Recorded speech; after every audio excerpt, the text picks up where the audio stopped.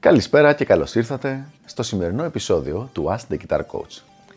Σήμερα έχουμε μία ερώτηση για το θέμα του music business, η οποία είναι η εξής.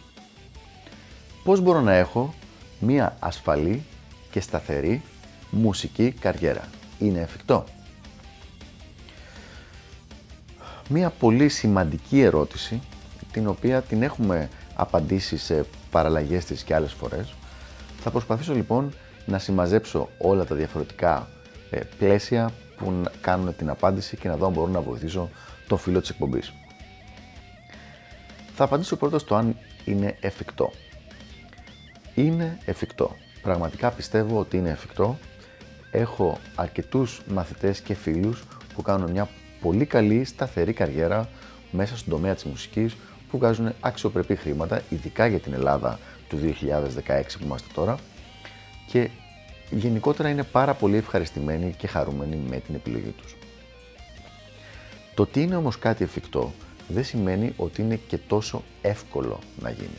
Γιατί πολλές φορές τα πράγματα κολλάνε σε διάφορους συγκεκριμένους τομείς, όπως θα δούμε παρακάτω. Τι είναι αυτό λοιπόν που πρέπει να κάνεις για να μπορέσεις να πετύχεις να έχεις μια, ένα καλό επίπεδο ζωής πάνω στη μουσική; Χρειάζεται να έχεις διαφορετικές πηγές εισοδήματος οι οποίες είναι όλες συνδεδεμένες με τη μουσική και με τη δουλειά σου. Δηλαδή, άπαξ και δουλεύεις ως μουσικός, δεν μπορείς πια να έχεις την οτροπία του δημοσίου υπαλλήλου που λέει «Κοίταξε φίλε, εγώ δουλεύω ε, 9 με 3, ας πούμε, 9 με 5 και αυτό κάνω και παίρνω το μισθό μου και φεύγω και με πολυπρίζεις». Δεν δουλεύει έτσι. Είναι πολύ πιο κοντά σε μια διαδικασία που μοιάζει με την επιχειρηματικότητα, όπου μπορείς να κάνεις διαφορετικά πράγματα στον ίδιο τομέα και να έχεις μικρές πηγές εισοδήματος από το καθένα, όπως ακριβώς αν είχες ένα κατά κάποιο τρόπο μαγαζί, μια επιχείρηση θα είχες από κάθε προϊόν σου μια μικρή πηγή εισοδήματος. Και πάμε να δούμε λοιπόν από την αρχή.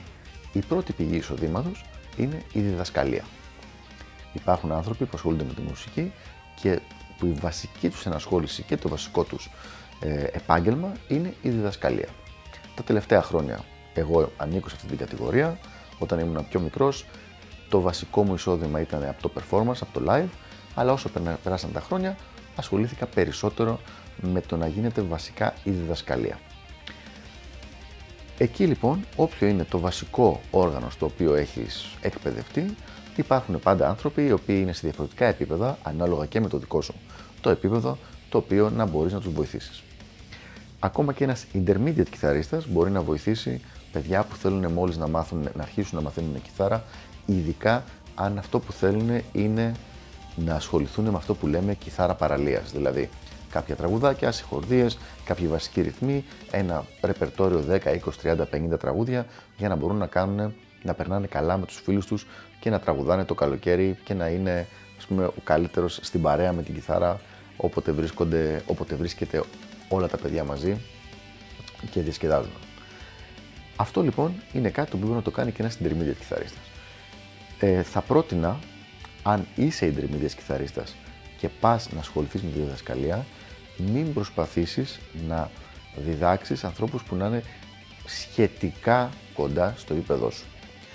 Ναι, για ένα-δύο μήνες δεν θα υπάρχει πρόβλημα, αλλά μετά αυτοί θα καταλάβουν ότι έχουν φτάσει μέχρι εκεί μπορείς να τους προχωρήσεις και, και θα φύγουν και δεν θα έχουν και ιδιαίτερα καλά πράγματα να πούνε. Δηλαδή θα λένε καλός ε, αυτός, αλλά μέχρι εκεί. Και εσύ μπορεί να έχεις βελτιωθεί μέσα στα επόμενα 2, 3, 5 χρόνια, αλλά η δική τους άποψη θα είναι πάλι στο μέχρι εκεί. Κλείνω την παρέμβαση λοιπόν και πάμε παρακάτω. Το δεύτερο, ο δεύτερος τρόπος να μπορείς να, βγα... να έχεις μια άλλη πηγή εισοδήματος από τη μουσική είναι το live. Η αλήθεια είναι ότι αν έχεις μια δικιά σου μπάντα που κάνεις δική σου μουσική και δικά σου τραγούδια, είναι πολύ πολύ δύσκολο να είναι ένα σημαντικό εισόδημα αυτό στην Ελλάδα πάλι που λέμε του 2016. Αν όμως έχεις μια μπάντα που να παίζει cover songs ή να μπορείς να μπεις σε μια μπάντα κάποιου ήδη φτασμένου μουσικού τραγουδιστή συνήθως και πάλι και λαϊκού τραγουδιστή συνήθως, ώστε να μπορείς να παίζεις μαζί του, αυτό μπορεί να είναι μια καλή πηγή εισοδήματος. για μία φορά τη βδομάδα ή δύο φορές τη βδομάδα αν έχεις μπει σε κάποιο γνωστό τραγουδιστή, στην πάντα του δηλαδή, ή μία με δύο φορές το μήνα αν έχεις φτιάξει κάποια cover band και να παίζετε ε, μουσική σε διαφορετικά μαγαζιά. Και πάλι όμως αυτό προστίθεται στο εισόδημα της διδασκαλίας που κάνεις. Νούμερο 3 λοιπόν. Στούντιο. Το στούντιο είτε ως στούντιο κιθαρίστας είτε ως κιθαρίστας παύλα producer. Ας ξεκινήσουμε με το πρώτο. Αν μπορέσεις να βρεις κάποιους ανθρώπους, κάποιους καλλιτέχνες οι οποίοι να θέλουν κάποιον κιθαρίστα να παίξει στους δίσκους τους, να παίξεις στις ηχογραφήσεις τους, αυτό είναι μια πάρα πολύ καλή λύση. Φυσικά αυτό και δεν είναι μόνο για κιθαρίστες, οποιοδήποτε όργανο μπορεί να γίνει, ακόμα και στη φωνή, αν αυτός που θέλει να κάνει τη δουλειά του δεν είναι τραγουδιστής και είναι τραγουδοποιός ή κάτι αντίστοιχο. Οπότε λοιπόν μπορεί και αυτό να είναι ένα μικρό εισόδημα. Δηλαδή, αν μπορείς μία φορά το μήνα να βρίσκεις μία μπάντα ή έναν καλλιτέχνη ο οποίος να θέλει να νοικιάσει κατά κάποιο τρόπο τις παιχτικές σου ικανότητες για μία ηχογράφηση, είναι και αυτό ένα μικρό έξτρα εισόδημα. Παραλλαγή αυτού του θέματος είναι το να είσαι παραγωγός μουσικής. Δηλαδή, εσύ παίζεις κιθάρα για παράδειγμα ή μπορεί να παίζεις πλήκτρα όπως κάνει ο Μπομπ Κατσιόνης με τον οποίο συνεργάζομαι μια δεκαετία τώρα και έρχονται άνθρωποι σε εσένα για να μπορέσεις να τους ηχογραφήσεις αυτό που έχουν στο μυαλό τους. Για παράδειγμα, μπορεί να είναι αυτός ο άλλος κιθαρίστας, εσύ να παίζεις πλήκτρα και να κάνεις τις ηχογραφήσεις, οπότε εσύ φτιάχνεις τα υπόλοιπα όργανα και τον ηχογραφείς εκείνον και του παραδίδεις στο τέλος ένα έτοιμο demo ή ένα έτοιμο κομμάτι αν είναι πιο συμμαζεμένο το project. Αυτό είναι κάτι πάλι το οποίο πληρώνεται με την ώρα της ενασχόλησης και μπορεί να είναι και αυτό ένα ακόμα πράγμα, ένα ακόμα, μια ακόμα πηγή εισοδήματος στην ε, μηνιαία σου ας πούμε ενασχόληση με τη μουσική, επαγγελματική ενασχόληση με τη μουσική. Φυσικά όλα αυτά που είπα τώρα και τα τέσσερα έτσι έχουν την ενασχόλησή τους για να μάθεις να τα κάνεις. Δηλαδή δεν είναι ότι απλά αποφάσεις μια μέρα και λες Λοιπόν, μεγάλε, εγώ θα γίνω επαγγελματίας μουσικός, οπότε αρχίζω. Αρχίζω να κάνω στούντιο, αρχίζω να κάνω τον παραγωγό, αρχίζω να διδάσκω και αρχίζω να παίζω live. Δεν πρόκειται να πάει έτσι. Θα πρέπει σε κάθε ένα από αυτά να βελτιωθείς, να αποκτήσεις τις ικανότητες που χρειάζεται.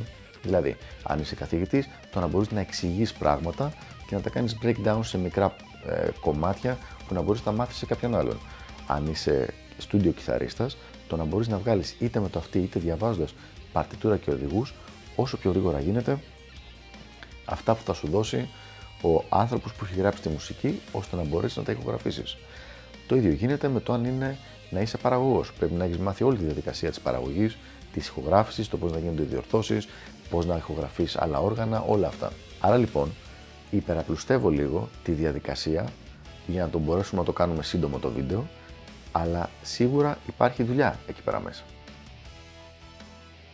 Τώρα, αν μιλάμε για ενασχόληση επαγγελματικά με τη μουσική εκτός Ελλάδος, υπάρχουν και άλλοι, κάποιες άλλες ας πούμε δυνατότητες, οι οποίες υπάρχουν και στην Ελλάδα, απλά λόγω όχι μεγάλου πληθυσμού, αναγκαστικά δεν θα έχουν αρκετά μεγάλο ενδιαφέρον οικονομικά. Παράδειγμα είναι η συγγραφή βιβλίων.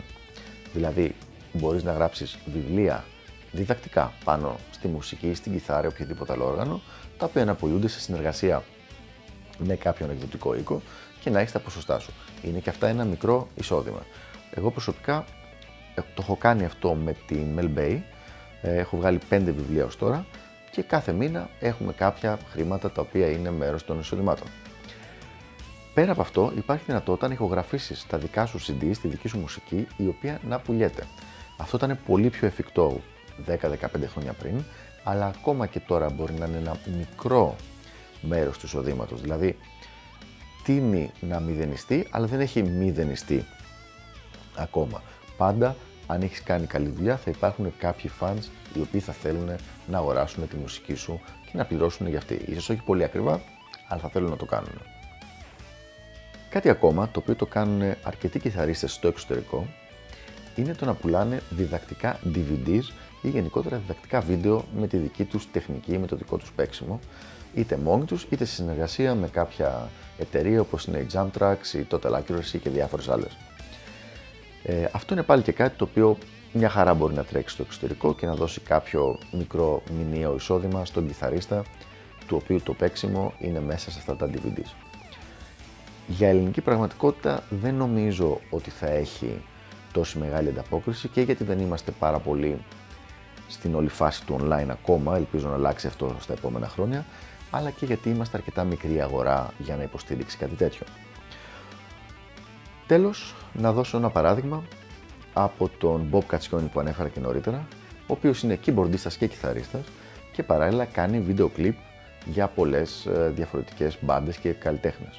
Αυτό λοιπόν είναι κάτι το οποίο ξεκίνησε επειδή του άρεσε το όλο θέμα και σιγά σιγά όταν έγινε πολύ καλός και τον εξοπλισμό άρχισε πια να το προμοτάρει και σαν μια υπηρεσία η οποία του δίνει και αυτή ένα μέρος του μηνιαίου εισοδήματός του. Πού καταλήγουμε λοιπόν μετά από όλη αυτή την ανάλυση κατά κάποιο τρόπο τον, ε, του τι μπορείς να κάνεις πάνω στη μουσική για να έχεις μια, ένα καλό μηνιαίο εισόδημα. Καταλήγουμε σε αυτό που είπα και στην αρχή. Δεν είναι δυνατόν να έχεις ένα καλό εισόδημα ως μουσικός αν αυτό που προσπαθείς να κάνεις είναι να έχεις μια νοοτροπία δημοσίου υπαλλήλου. Η ενασχόληση με τη μουσική σε επαγγελματικό επίπεδο μοιάζει πολύ περισσότερο με την επιχειρηματικότητα όπου είσαι ένας επιχειρηματίας που έχεις διαφορετικά προϊόντα, σκέφτομαι σαν να έχεις πολλές αντιπροσωπείες από μικρά προϊόντα και ανάλογα με τις πωλήσεις και με την κινητικότητα του καθενός προϊόντου, προϊόντος μαζεύεται στο τέλος του μήνα ένα εισόδημα. Όσο καλύτερος είσαι στο να προμοτάρεις αυτές τις υπηρεσίες, στο να είναι να φανεί ότι είναι κάτι που θα βοηθήσει κάποιον, τόσο πιο πολλές πιθανότητες να θέλει περισσότερος κόσμος να τις αγοράσει και με αυτόν τον τρόπο να μπορείς να έχεις το εισόδημα το οποίο θέλεις. Οπότε είναι εφικτό, είναι απόλυτα εφικτό το να έχεις μια ε, πολύ αξιοπρεπή μουσική καριέρα και να έχεις ένα καλό εισόδημα. Είναι εύκολο. Εύκολο δεν θα το έλεγα.